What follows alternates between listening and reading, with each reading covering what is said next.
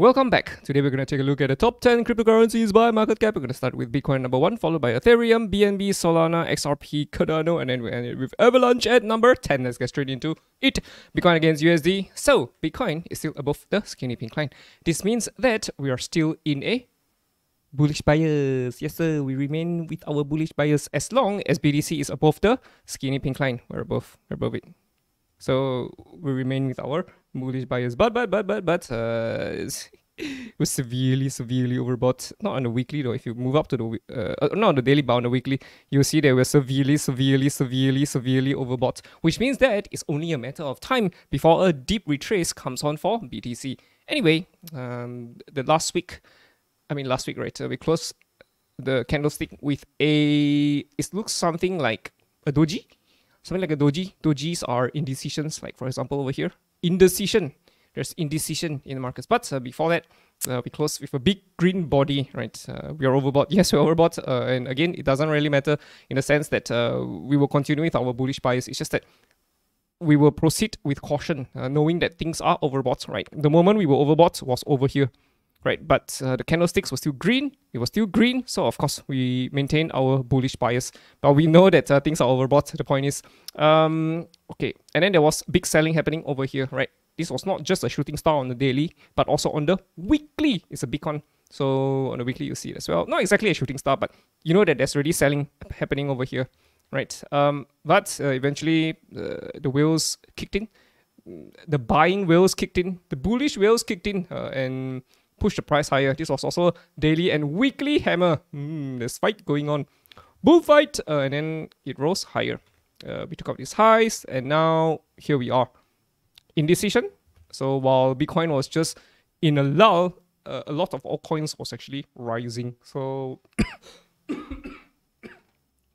excuse me.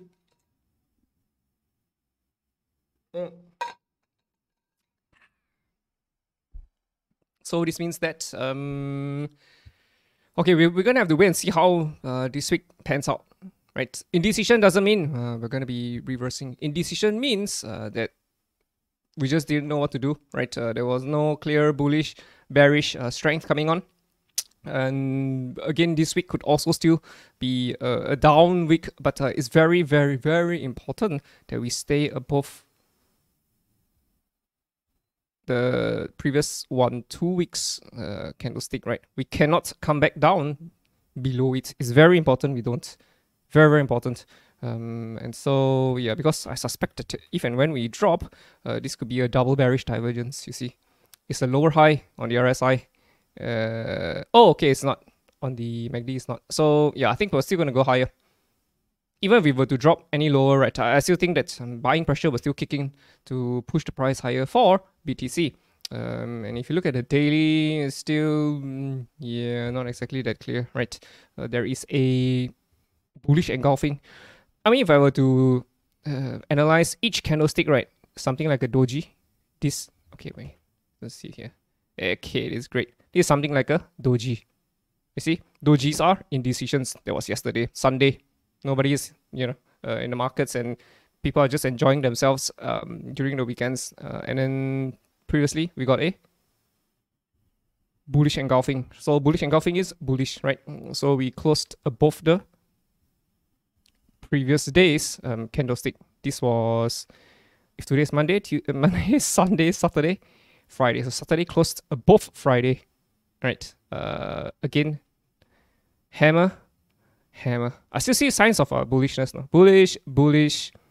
This is also bullish. Um, it's indecision, but yeah, I, I see clear three bullish signs. Things are still bullish. I don't see any bearishness, right? No shooting stars, no bearish engulfings. Okay, there's a bearish engulfing here, but uh, it ended with a hammer as well. So again, I'm still bullish for Bitcoin, and I still expect uh, more upside, right? Of course, that could be you know, black swans and all, and of course, Bitcoin can always drop to zero, but uh, things are still pretty bullish uh, from a daily and weekly perspective. From a high time frame perspective, yes, we're overbought, but we still expect a little bit more upside for uh, Bitcoin, and I think it's only a matter of time before we break uh, this high over here, this tippy top at around 53,000. Yeah, I think it's only a matter of time uh, before we break it, right? Uh, 53, obviously, the next one will be a very round number at around 55 So, you know, 53, 55, and then after that, uh, there could be 57. Uh, all we know is that there is significant resistance at around 57,000. So we're expecting it to hit towards uh, 50, 57,000 eventually. But uh, no matter what happens for BTC, it's very, very, very, very, very, very important that we stay above the skinny pink line. We cannot come back under the skinny pink line. Uh, and this will mean that potentially the uh, bullish trend could be uh, ending and we could be going for a new trend change, right? Uh, and the halving is coming. So I suspect, like, huh, could this be a different kind of halving? Where Bitcoin corrects is it possible? Of course, sure, it's possible. Do you see any signs of bearishness here? No, we don't see any signs of bearishness. So, yeah, I mean, if you look at uh, the past, the halving usually, uh, uh, I mean, uh, preceding uh, preceding a, a, continuous crazy run, right, uh, is usually after the halving. But this crazy run has already happened before the halving, right? And it's already how many days? 462 days, right? From the bottom to the top here, right? It's already 388 days. It's 400 over days. It's, it's, it's quite extended though. And I think it'll be some time before we break this. Uh, and even if we were to hit, let's say we overshoot the resistance, and if we were to hit over here, I suspect, I still suspect uh, there will be a, a, deep retrace coming on. Uh, and then, you know, then only do we go back up, right? Maybe end of 2024, maybe. I think halving could be a, a, a sell sell event though. I, I can't say for sure again. Uh, we'll maintain our bullish bias for uh, Bitcoin at this point of time, right? But we're just aware that um, selling has started happening over here? Selling started happening. So yeah, but anyway, we're still bullish. We are still bullish. Ethereum, yes, sir. So Ethereum is catching up to Bitcoin. So if you look at ETH BTC, FBTC, uh, if you look at a weekly, yeah, big green candlesticks, big green candlesticks. This is what you call a bullish engulfing. Bullish engulfings are bullish chart patterns. Again, look at this big candlestick engulfing this red candlestick, bullish engulfing, right? Um, if you look at uh, two weeks prior, there's a hammer. Two weeks prior, another hammer. Buying pressure is coming in, buying pressure is coming in, crazy candle, and then again, bullish engulf. Yeah, it's, everything is bullish uh, for ETH BTC at this point of time. I also expect uh, ETH BTC to, you know, uh, eventually head up here. And after that, ETH goes para and and and I think that all the other uh, coins in the Ethereum ecosystem, layer twos and especially layer threes, uh, is going to see huge huge moves towards the upside as Ethereum uh, continues rising. So uh, you also would want to have some exposure uh, in Ethereum ecosystem coins. Very important uh, to have some exposure in ecosystem coins. So yeah, again, it's, it's, it's very bullish to me though. Very, very bullish to me. Long legged dojis. It's just like the doji indecision, right? And then, yeah, look at this. We're about to close the month with a big green body. What do you think is going to happen next? The next big green body is going to come uh, for ETH BTC. More likely than not, of course. Things always drop to zero. But yeah, I think that's another big green body coming on for ETH BTC. So uh, if you still have uh, uh, yet to have any exposure to Ethereum, uh, Ethereum layer ones, uh, sorry, uh, layer twos or even layer threes, mm, it's time to consider it. Think about it. Look at Ethereum on the monthly. Big green candlestick. Big green dildos. Uh, 26. We're gonna close the month in two more days.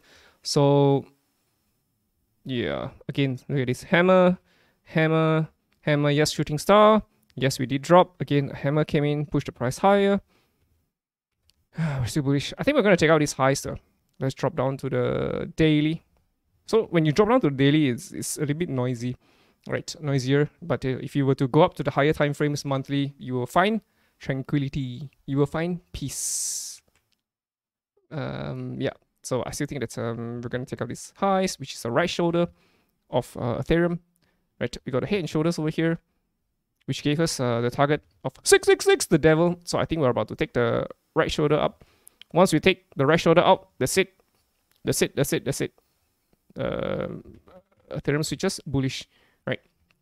So again, uh, the, the only question I have is that is this gonna be this kind of a squeeze, or are we just gonna go one long shot up?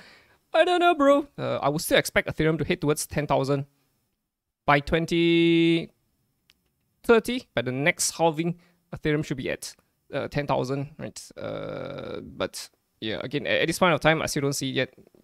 So we might do something like this before continuing higher. So the, the halving might be here early though. But I still think we're going to have a new all-time high for BTC. I know it sounds a bit confusing uh, right now, but uh, again, we're still buyers bullish, buyers bullish, buyers bullish, and we still expect more upside for uh, Ethereum and alts in general. Uh, BNB, BNB against BTC. Okay, BNB is also another what you would call a late bloomer, and I think BNB is in the midst of a wave two. When things move impulsively towards the upside, it's one, two, three, four, five. When it when it drops, it's a ABC or a one, two, three, four, five. Also five waves down. So for uh, BNB BTC, this is a one, and this looks to me like a two. We're expecting a three, usually the longest, never the shortest, and then we're expecting a four as we head up towards a five. Ta-da! This is a long journey up, very long journey up. So yeah, I think it should do well. I think it should do well. Um, we have a target over here, 4658 of the big, big, big, big, big head and shoulders. I think it's going to get invalidated. The moment we take out these highs, this is invalidated. And it feels to me like we're going to invalidate it. If you look very carefully over here, this is a symmetrical triangle. Symmet symmetrical triangles are bullish continuation chart patterns. If the preceding trend is bullish, the subsequent trend will be bullish.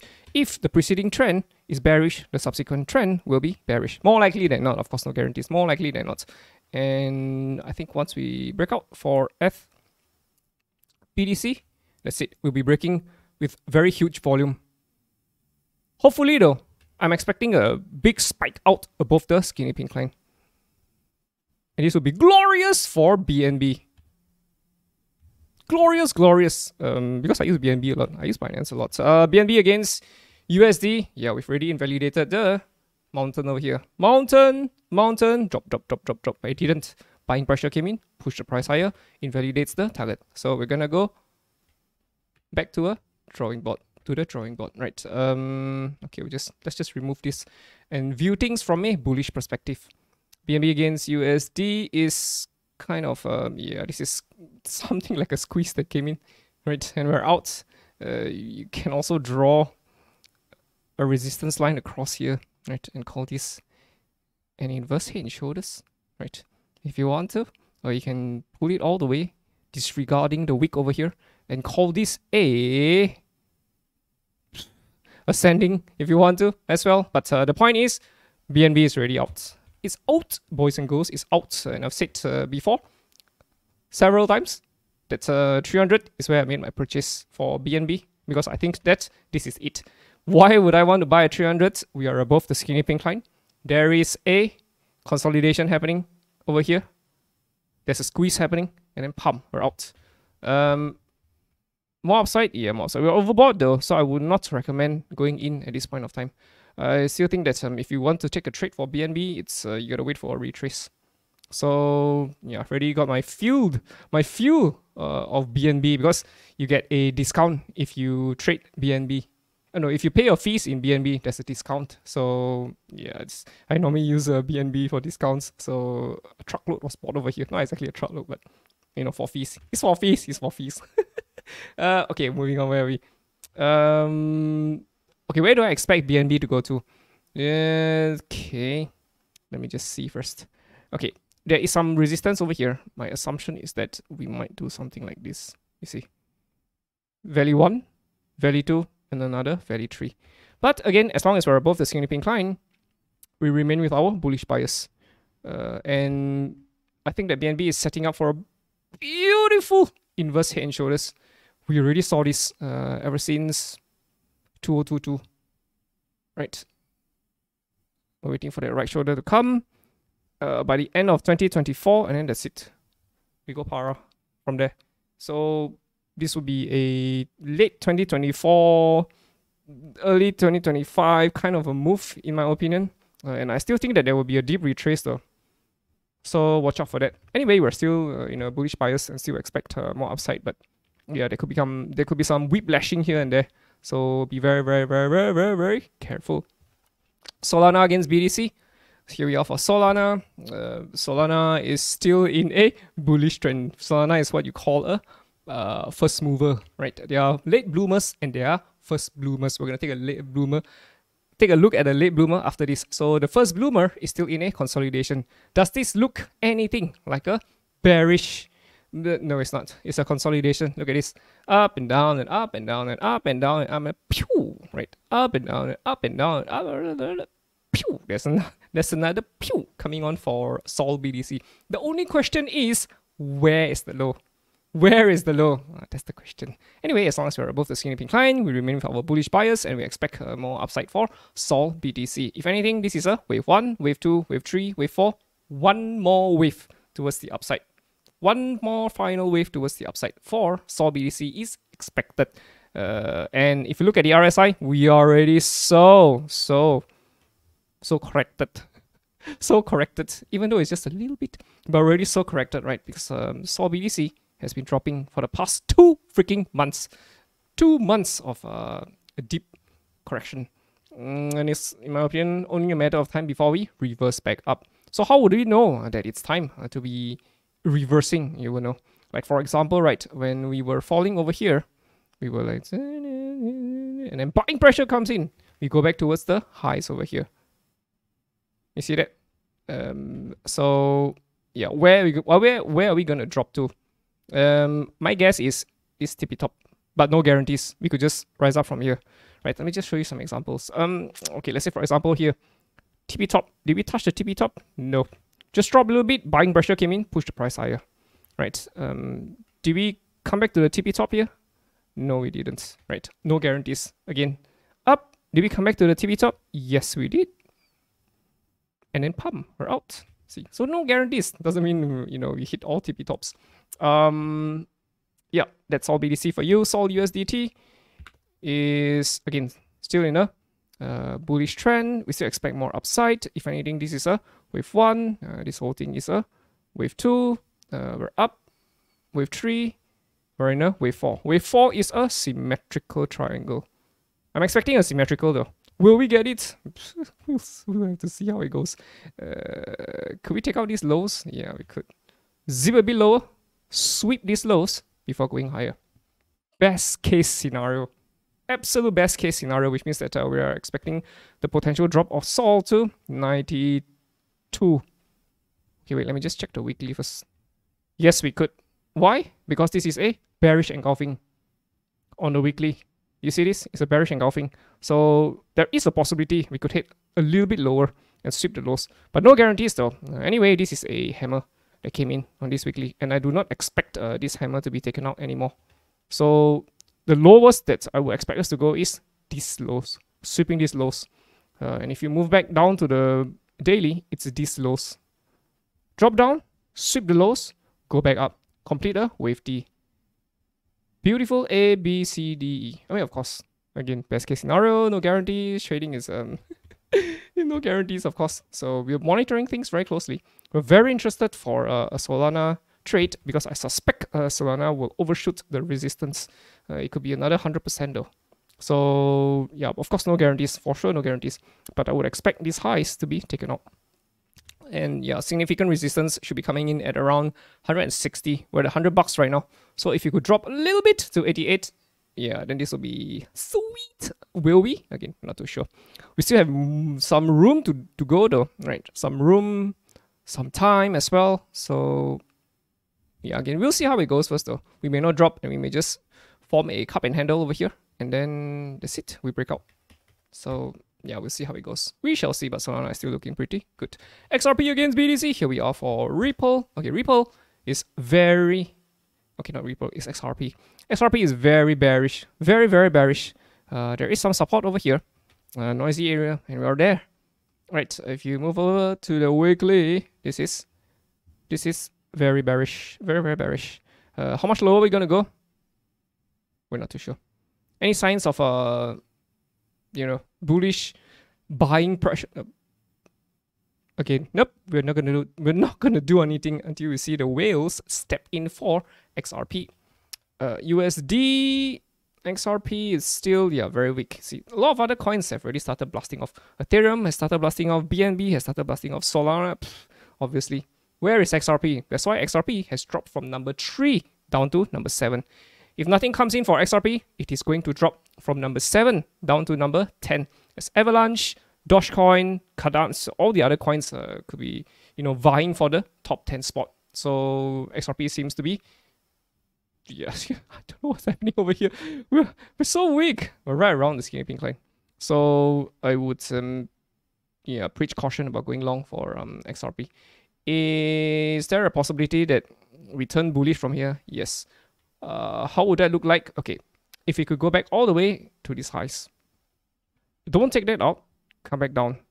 Come back up here. Form something like an ascending over here then yes, I will flip from a bearish bias to a bullish bias for XRP. Until then, I would uh, recommend staying away from XRP. Uh, it's it's just uber weak. So yeah, there you go. Moving on, big ADA against BTC. Here we are for ADA. So ADA, uh, okay, ADA has this neck right of uh, accumulation up, and then went down, and then we're up again. So it's good, accumulation. So we're doing nothing. And we're up, and then we're down. Now we're waiting for the next up coming on for AWBDC. And AWBDC, I say this week after week after week after week, has a very, very, very, very, very nice squeeze coming on. If and when ADA completes this squeeze, oh, it's moonshot. is a big moonshot uh, coming on for uh, AWBDC. But uh, it's going to take time though. So don't fade Charles. Charles is a he's a top top dog. Uh, and yeah, again, I don't see any moves yet for ADA BTC. Uh, on the daily, you can see something like hammers here, another hammer appearing over here. So again, uh, it feels to me like a ADA could be about to switch back up uh, for ADA BTC against USD. So if you look at ADA USD, we are already clearly above the skinny pink line. Uh, the trend is already bullish. Uh, again, are we going to get a cup and handle. To be honest, I would like a ADA to come back down here, form a C, complete a D, E, something like that. Nice little squeeze. We break back higher. Best thing that could happen, right? And you can see all over here, hammers, hammers here, hammers here, hammers here, another hammer over here. Buying pressure all across. Uh, but yeah, that's why the question we have is how much lower are we going to retrace? Are we, go, are we going to start uh, blasting off from here? I'll prefer it to drop though. Sweep these lows maybe um, before heading higher, right? So again, we're monitoring things very closely for ADA against USD. Uh, anyway, we still have a clear target over here at 125, and we still expect more upside eventually, right? Doesn't matter if we do drop or not, uh, whether if we get an ABCDE or we get a cup and handle, yeah, it doesn't really matter. Uh, we still expect more upside for ADA eventually. AVAX against BTC. I think I've mentioned this before. Uh, it's very important to have some exposure in AVAX. Uh, AVAX is sponsoring meme coins. Um, but hey, we're here to make money. Um, and we expect AVAX uh, to do well eventually. We expect a reversal towards the upside. We are already uh, forming a lower low. Could we still drop lower for AVAX against BTC? Of course. Anything on a weekly for AVAX? Yeah, see buying pressure coming in. You see wicks here. Could we still drop a bit lower? Yes, of course. Again, we could just tap the tippy top here before heading higher. Any guarantees? No. For example, look at this. Did we tap the tippy top? No. So how low are we gonna go? We don't know. How do you know if this if it's the end? Yeah, you'll see buying pressure.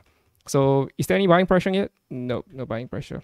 So we're gonna have to wait and see how it goes for AVAX against BTC. AVAX against USDT. Here we are for AVAX.